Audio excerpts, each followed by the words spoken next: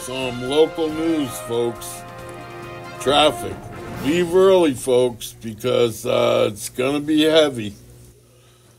And then on the home front, some local news, normal husband wife stuff. But later on tonight, we're having a special meeting. Hope you can all attend.